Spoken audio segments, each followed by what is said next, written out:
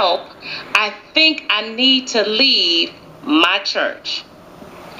First, my friend, let me be very clear to help you understand that there is a difference between being a member of a church and being a citizen in the kingdom of God. And what we have, like never before, is a onslaught of false teachings and sinister ministers, wolves in sheep's clothing, howling, and remember, wolves run in packs.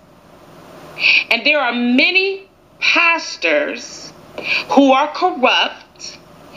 They are running in packs. And they have come together and they have taken over the hearts and the minds of multitudes of people, masses,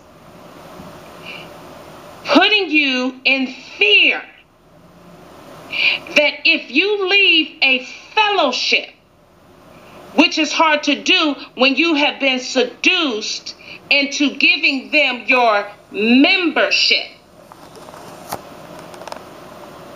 What God is concerned about, my friend, at all times is your soul, your psyche, your heart.